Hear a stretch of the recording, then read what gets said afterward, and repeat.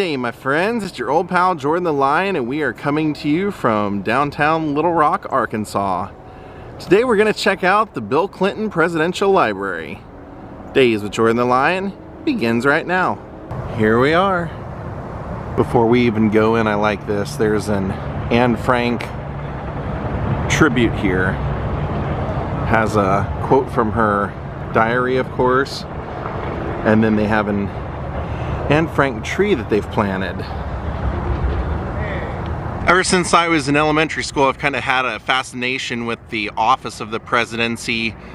So I'm kind of devoted to wanting to see all the presidential libraries at some point.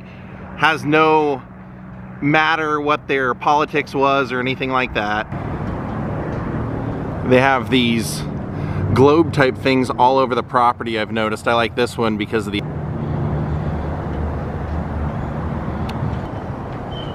As soon as we start, it was a $12 ticket. They have the presidential limo with some of the secret agents, the Secret Service handcuffs and things like that. Cadillac Fleetwood was the new presidential limousine in 1993. Only three of the vehicles were built by skilled General Motors employees in Warren, Michigan. It was built for the president's exclusive daily use. It says the roof was raised to provide increased visibility of the rear seated occupants and to not compromise security.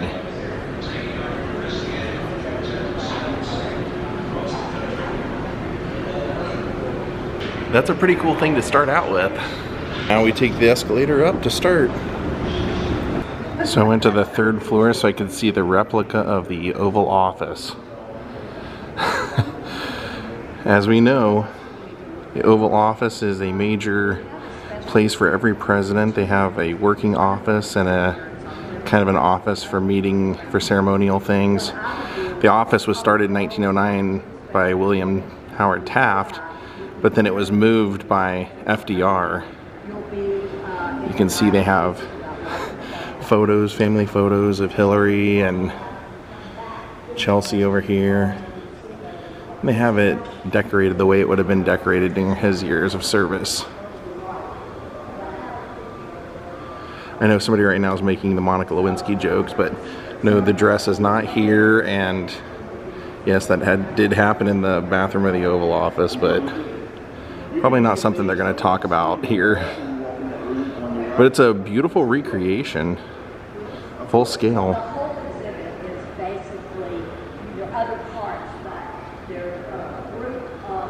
And then, of course, his desk, where he would have signed everything, all the official documents. They were telling me that the uh, Clintons picked the drapery here for when he was in office, and it was removed by Bush and by Obama, but then it was brought back by Trump, and it's still in there now with Biden. And kind of strangely, when I exit the Oval Office, they have a kind of a hangout photo op of the Friends set. Obviously a 90s thing. It's a women's rights quilt. This was actually supposed to open in 2020 on the 100th anniversary of the women's right to vote, but because of the pandemic, it's opening now. so, so she had the time to add the smaller figures here, which are like Nancy Pelosi in Congress. That is the suit from the speech heard around the world. They have a quilt depicting Hillary there. There's President Clinton's baby photo. And those are Bill's parents, Virginia and William Jefferson Blythe. Here's a drawing that he did of High Noon 1952. They also have his Cub Scout ID card made out to Billy Clinton Hot Springs, Arkansas, 1955. And then this is also his Cub Scout. And then his junior deputy badge. Billy Clinton and Tom Sully.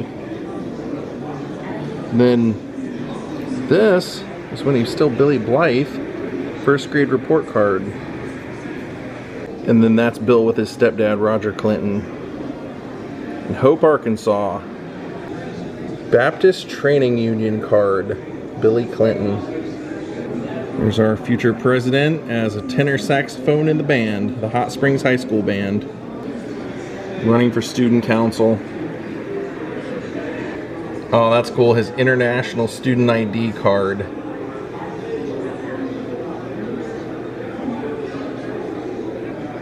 And college Bill and Hillary. Couple of hippies. This is a poster, Bill running for Congress, and it's signed by all the people that helped with the campaign. Of course, became governor of Arkansas and was on the Tonight Show with Johnny Carson. And here's an article about young Hillary Clinton, 1978. Bill and Hillary at the governor's mansion gates. So now we've hit a section that is titled Gifts to the President. And I'm seeing like a Mariners jersey from throwing out a pitch and a First Lady bicycle to Hillary and a seat to President Clinton, a Bob Hope golf bag, 1984, a Welcome Home Socks banner, their pet, some needlework of Bill Clinton. This is talking about the Clinton celebrating the holidays in the White House, Thanksgiving and Christmas, and some of the Christmas decorations the Clintons brought with them. And some art that someone made of them celebrating Hanukkah. There's Bill Clinton reading Twas the Night Before Christmas. And speaking of Christmas, look at the gigantic crystal tree that they have here on display.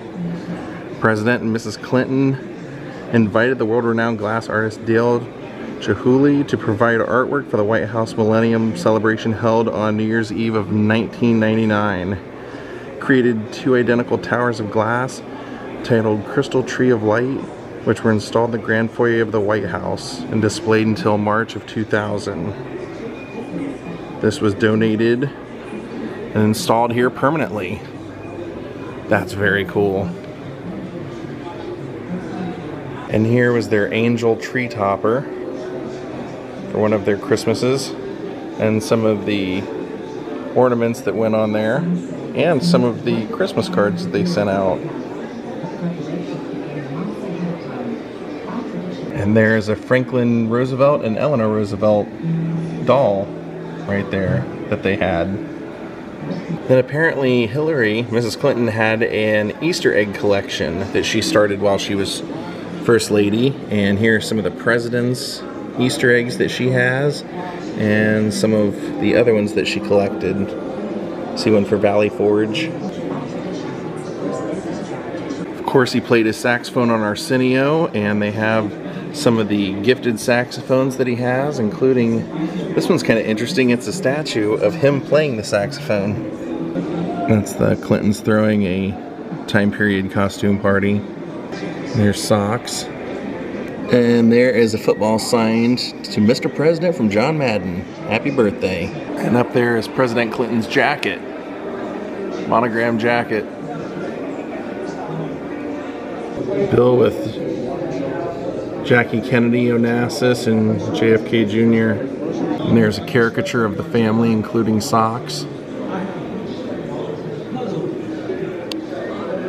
And then here they have a table all set for like a state dinner, which they hosted many.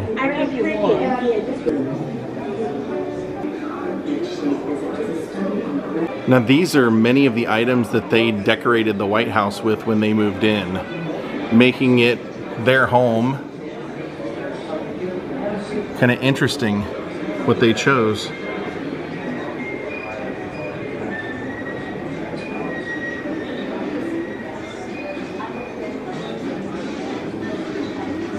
Including that. And these were some of the state gifts also that they received. Those swords and the daggers. And then this was Hillary's dress for the 1997 inauguration festivities. So once we come down to the second floor, in the center of the room they have a timeline of everything that he did in his presidency. Over here they have a display dedicated to the Little Rock Nine and it says that President Clinton was heavily inspired by what he saw here. It says seeing the Little Rock Nine face down the angry mom fascinated me and inspired an emotional bond that has lasted a lifetime. This is a plaque from the Bosnia peace talks. Peace accord signed Paris, December 14th, 1995. There's one of the UN helmets. And then this is talking about the assassination of Yitzhak Rabin. And it says that this was um, actually gifted to President Clinton 100,000 people gathered in Tel Aviv for a peace rally. Yitzhak Rabin told the people that the size of the crowd proves the majority of the people really want peace. And it says that the um, as a token of deep gratitude and appreciation to your immense contribution to the unfolding change in the political landscape of the contemporary Middle East, Yitzhak Rabin gave this to President Clinton as a gift. And there's Clinton at the Yitzhak Rabin funeral. And President Clinton's yarmulke.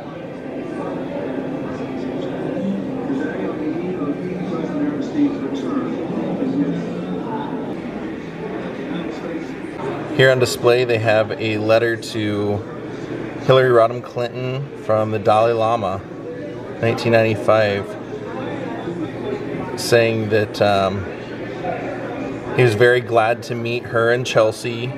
Very memorable evening. I felt that this trip to the United States was very productive, and I was moved by the outpouring of support for the Tibetan people in the various cities that I visited. And here was a letter from Sheryl Crow, 1997, to President Mrs. Clinton, still savoring my experience of the inaugural festivities, and I suppose this is a thank you letter of sorts for including me. I felt so proud to actually be present at the swearing in of a president and first lady whom I respect.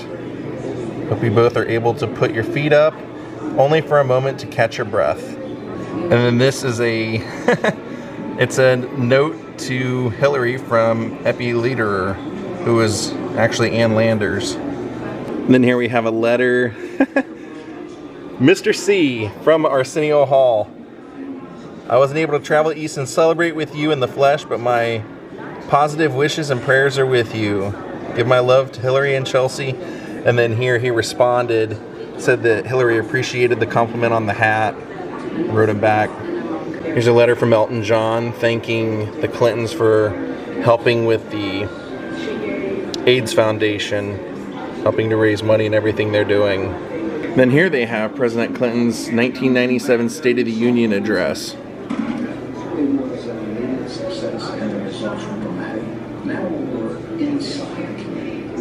Or parts of it. In this exhibit, they're talking about how he restored the economy. First inauguration says there's nothing wrong with America that cannot be cured by what is right with America. And so today we pledge to end an era of deadlock and drift. A new season of American renewal has begun. To renew America, we must be bold. President Clinton, and this is what he played it says for his Arkansas inauguration ball. That saxophone.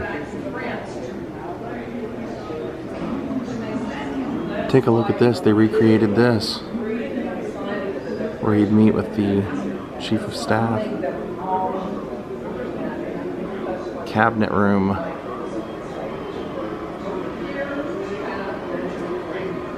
You can see on the left there's a bust of Washington and on the right of Benjamin Franklin. Discuss over the years in the cabinet room. Many other presidents have used this room many other issues as well. Like 60 years ago this time, the Cuban Missile Crisis was going on. And here's another view of it from the end of the table.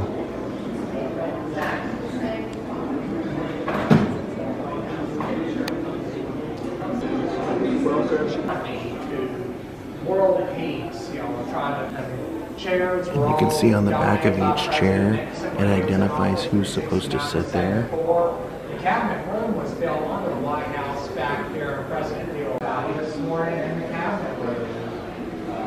And then right in the dead center, we have the Attorney General's seat here, and we have the Vice President's seat right here. But the portraits are, these are their And then President Clinton, or whoever would have been president at the time, would have sat right here. One of our founding fathers who played a huge role in our founding, Ben Franklin. So,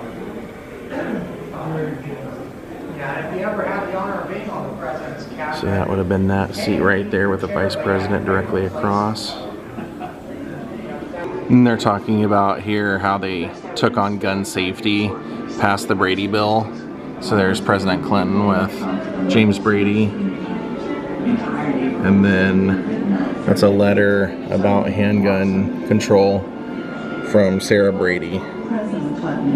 It says actually investing President Clinton launched the largest gun enforcement initiative in history, providing funding that enabled federal law enforcement officers to use the unique fingerprints of bullets to track down violent criminals. Then they have an assault rifle here, kind of like in a cage, and it says under the Clinton administration, these are banned as part of the 1994 crime bill. And then in this section, they have some of the documents he signed um, for environmental protection Clean Air Initiative, Clean Car Initiative. And you can see Strom Thurmond is has signed those. He's on a lot of these, kind of sponsoring the bills, with President Clinton signing beneath. And this whole case here is dedicated to Hillary becoming a best-selling author and awards that she received, including uh, a, including a Grammy for It Takes a Village for the audiobook.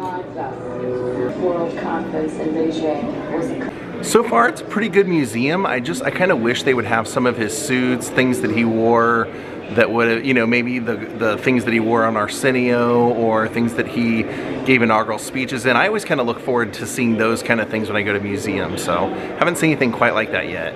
And then this section is all dedicated to the campaign.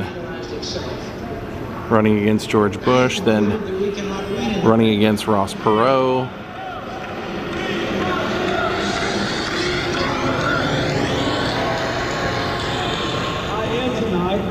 And then he won, of course, all the blue states. That was the electoral college for his first election in 92. And then this was his re-election.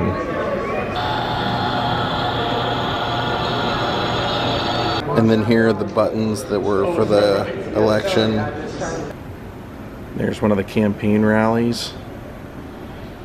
There they are at home.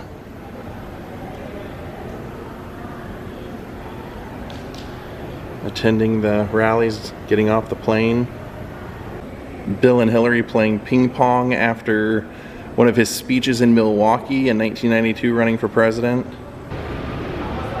And of course, Bill and his running mate and vice president, Al Gore. So that's pretty much it. I just wrapped up the tour. I'll tell you, I've been to quite a few presidential libraries. I liked that they emphasized all the things he did, but I thought there could have been more stuff. And what I mean is, I thought maybe some of his suits from speeches and things like that would be here. Didn't really see any of that kind of stuff. But on the way out, you can get a Socks mouse pad or presidential golf balls, magnets. Take the Oval Office home with you. So it looks like you can actually buy Hillary and Bill signed items here. Her book, that newspaper is signed by Bill. So he signed it right up there. All the money goes to the center here. Autographed bust, $500. So there's actually one more thing that she told me at the front desk because I said, is there no um, statues of the president here? Because that's the first time I've ever attended any presidential library that didn't have a statue of the president and they said no there is not a statue of the president or first lady But his final resting place is going to be out here, which I almost didn't even think about. You know, honestly, everybody, most of the presidents are always buried at their presidential library, but I almost didn't even think to ask. Glad she brought that up. I am shocked though, honestly, I, if you would have asked me, I would have thought for sure Bill Clinton would have been a guy that would have had a, a statue of himself at his library, but no. That day will come where he will be brought out here and he will be buried in the center of this kind of maze right here where the white stone is.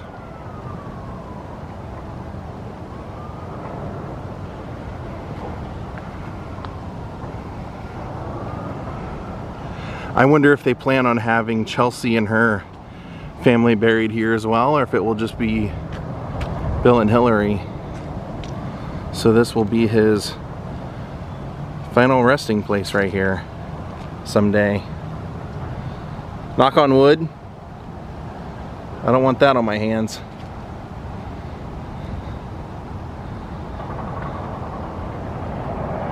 Right down from the bridge and right directly behind the presidential library.